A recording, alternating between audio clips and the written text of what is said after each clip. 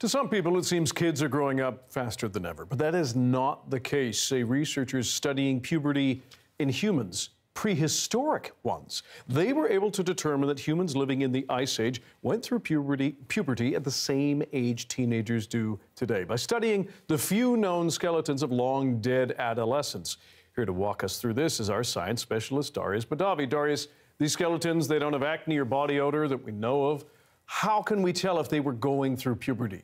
Well, it's not easy. A skeleton doesn't have peach fuzz or voice cracks either, Dan. Uh, but a new method developed by one of the paper's authors, Mary Lewis, Mary Lewis at the University of Reading, uh, can show us that uh, figure. Uh, sorry, can let us figure out where someone was in the process of puberty by looking at their skeleton. Now, I spoke with April Nowell, one of the researchers, who gave the example of that stage where a teenager just suddenly shoots up. It comes along with a change in the elbow. But she says that can tell you a whole lot more as well.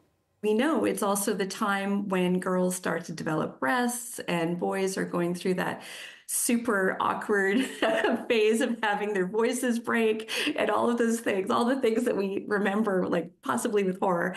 Um, so when we see those kinds of changes in our Ice Age teens, uh, we can infer all the other stuff that goes along with it. So, Darius, how many skeletons were they able to look at?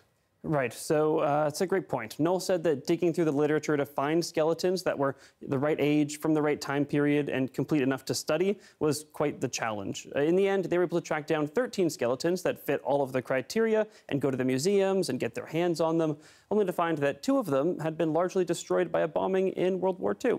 So 11 in total, and just listen to Nowell describe what it was like to study them that was the most um, exciting thing I've ever done. It was like the we just did this tour of teenage skeletons. so it brought us to uh, Italy and Monaco and the Czech Republic. We got to see some of the most famous skeletons uh, in the world, uh, including a young man with the with dwarfism. He's the oldest example of someone with dwarfism, and uh, walking into that museum and seeing him. there was, uh, you know, a real highlight for us, a, a real privilege. And after all that, Darius, what did the researchers conclude? I think the biggest finding is that people in the Ice Age, 12 to 40,000 years ago, went through puberty in the same way that we do. People talk a lot about uh, all the different things that are different from how things used to be done, how, how much faster children grow up. Uh, but as Nowell tells it, that finding represents something so much bigger. For me, the most uh, emotionally compelling and the most rewarding aspect of the research that we did is that we're able to uh, give back the humanity of these of these people. We're allowed, we're able to to reconstruct a little bit about about the lives they they led in ways that um, when I'm teaching my students, with, you know, about stone tools or animal bones or whatever, uh, it, it really doesn't help them connect in the same way.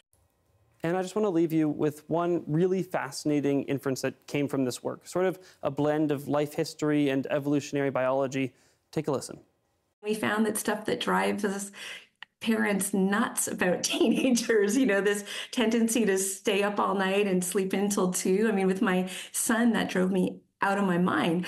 Um, but now we see that there's actually an evolutionary benefit in small groups to have one person awake at all times to make sure the group is safe. And so it's like teens are taking the night shift, you know? And I just, I love that. So the next time you're getting annoyed with your teen for doing something that you just can't explain, just know it might be hardwired into them. And it might have kept your ancestors alive. Good tip. Darius, thanks very much. Thank you.